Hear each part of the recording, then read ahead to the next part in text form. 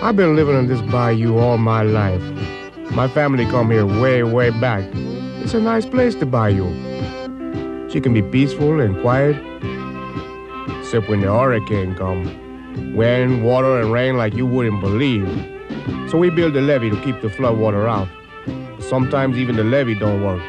The last time a hurricane come through, these houses get eight or seven feet of water in them. But we fixed that now. We building a new higher levee. That's my job. I work on the crew to build the levee. I built lots of levees before, but this one's gonna be different.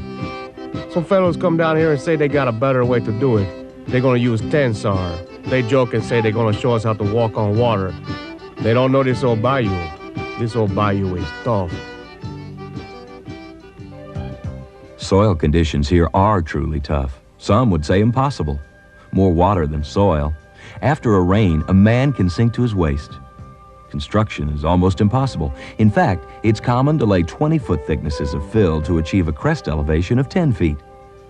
A technique that can build a firm foundation here will work anywhere, from the easiest to the most difficult sites, even those that were considered economically undevelopable. We came here to prove that Tensar geogrids can meet the challenges of the toughest soil conditions. The first task we faced was building an access road from the old levee to the new levee site. The site had already been cleared of trees using a crane mounted on a wide-track swamp buggy. The first morning, more than a dozen trucks full of river sand were backed up and waiting to dump their loads of fill for the access road. Everything was held up by the survey team. They were struggling to place the slope stakes for the haul road. After the rodman had taken 15 minutes to move through this muck, we suggested to the crew chief that he roll out some Tensar SS1 GeoGrid so the rodman could just walk out to place the stakes.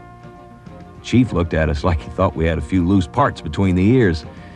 After about another 20 minutes, and the rodman moving another 15 feet, the crew chief came over and asked us to show him our suggestion.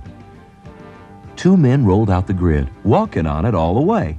In less than three minutes, they covered five times the distance the rodman had taken a half hour to cover. And soon everyone was out walking on the grid, even in street shoes, saying things like, This is amazing. Everyone that is, but this one big Cajun we call Bubba. No, that ain't right. We call him Big Bubba, because he weigh about as much as two regular people. Bubba say he's not walking on this grid. He say if he go out there, he sinks so deep they never gonna get him out. But this fellow from Tensar, he said, Bubba, you sink in, and I buy you the biggest steak in New Orleans. All 300 pounds of Bubba was out on that grid in about two seconds. He walk on the edge, he jump up and down. But no matter what he do, Bubba don't sink. That Tensar passed the Bubba test. From that point on, it was easy. The sand trucks came in, and the first fill lifts were spread by a light dozer. We soaked the sand with water spray to assist in compaction.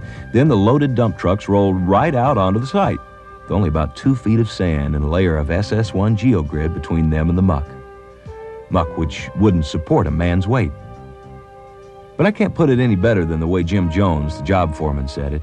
We have put in uh, approximately uh, 50 trucks, uh, tandems, a day out here. Uh, we run the SS1 down. Uh, had no problems with uh, backing it up uh, on this muck and mire that we have. It has held up extremely well. I'm very pleased with what what I've seen so far. I think the stuff is amazing to me. Uh, I've had a lot of people come out here and see what's going on out here, and when they've seen the conditions of the construction going on and so forth, they've been amazed with it. And uh, my people in the front office are extremely happy with what's going on. So Tensar Geogrids met the challenge.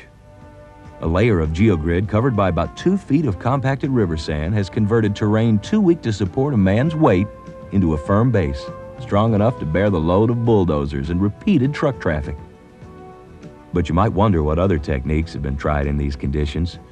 Would a high-strength geotextile work as well? So we thought we'd see for ourselves. It took six men to position the fabric. Rolling it out straight was almost impossible. And in the really soft areas, the crew found themselves in a bit of difficulty. With GeoGrid, it was a different story. Only two men were needed, and it supported their weight with ease. You can imagine how difficult it would have been to try to sew the fabric under these conditions.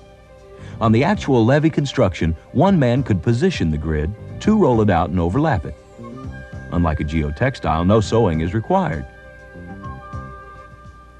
As the actual embankment for the levee was raised, Tensar SR geogrids were used to reinforce the embankment, allowing for steeper side slopes and a 40% reduction in levee width. The conventional design called for a 224-foot wide levee. By reinforcing with Tensar geogrids, the levee width was reduced to 136 feet. The result was a savings of 100,000 cubic yards of fill per running mile. And settlement of the GeoGrid reinforced levee has averaged less than 30% of what would be expected if it had been built by conventional techniques. So a higher levee and a better measure of flood protection is maintained with less labor, materials, and man hours. Parish officials and consulting engineers on the job have stated that the new reinforcing techniques made possible by Tensar geogrids will revolutionize levee construction. Not counting the savings and right-of-way requirements, fill savings alone have been estimated by the state to approach $700,000 per running mile of levee. Put simply, Tensar geogrids are of tremendous value in any construction over soft soil. Tensar geogrids speed construction, saving as much as 50% of the labor cost and equipment time.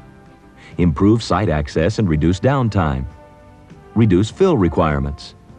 And allow the use in many cases of inexpensive, locally available fill, rather than precisely graded aggregates. But the advantages of Tensar GeoGrids apply to far more than just embankment construction. Controlling settlement and rutting is no longer a problem if Tensar SS geogrids are used at the base of construction platforms over weak and variable soils. Whether it's a car park or a hard standing, such as this marine platform storage area in Malaysia, or a highway, the grids are regularly enabling engineers to reduce the sub-base thickness by up to 40%. Tensar AR1 grid reinforces asphalt pavements to control reflection cracking, rutting, and fatigue cracking. A number of commercial and military runways in Scandinavia are already benefiting from its use. And the French highway authorities are proving that they can extend the life of asphalt pavements and get more out of their budgets. Hong Kong has particular problems with erosion of steep slopes. Tensar mat provides stability at the surface by reinforcing the grass root mat, a proven solution on both dry and occasionally flooded slopes. Unlike the Westminster Levee site, some areas of weak soil are relatively thin and overlay firm strata. In these areas, use of the Tensar GeoCell as a foundation mattress allows embankment construction without removal of the soft layer and also ensures that any settlement is consistent. In Tokyo, the base of an embankment is reinforced with Tensar grids to intercept potential failure planes whilst in another part of Japan, the grids have been used to repair a slip on the face of a dam. This form of slip repair has proved to be not only successful, but extremely low in cost. This is because the failed soil is excavated and reused. The construction of slopes with very steep faces has tremendous financial benefits. Here, sand-filled bags are used to achieve a soft facing to a steep grid reinforced slope. In Taiwan, the grids have been wrapped around soil lifts, and natural vegetation will provide an environmentally sympathetic face. A version of Tensar mat incorporating pre-cultivated turf provides an immediate green face to these 9-meter-high grid-reinforced blast walls in a military installation. Creeping plants will cover over the exposed grid on the steeper corners. Hard facings to steep slopes and walls can be constructed using gabions, masonry, blockwork, and full-height concrete panels. Hexagonal concrete panels were specified at this site in North America, whilst in Japan, the designer used an inverted Y-shaped concrete unit, a spectacular effect. Wait, I guess this old bayou not so tough after all. At least not so tough tougher than Tensar. These folks around here not gonna have so much to worry about next time the hurricane comes.